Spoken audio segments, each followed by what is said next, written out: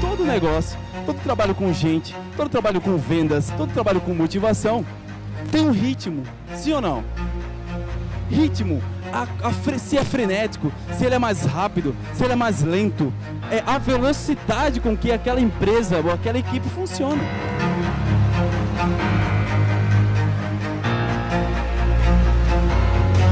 Um segundo ponto que é musicalidade.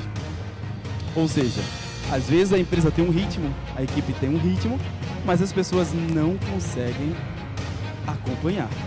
Né? E falando isso, atrelado a vendas, isso é muito interessante, porque às vezes a empresa tem ali as suas metas, as suas coisas que você tem que, que produzir, né? a sua produtividade, mas não se consegue fazer porque a musicalidade é nada mais nada menos do que a possibilidade da pessoa entender o que está tocando e começar a dançar.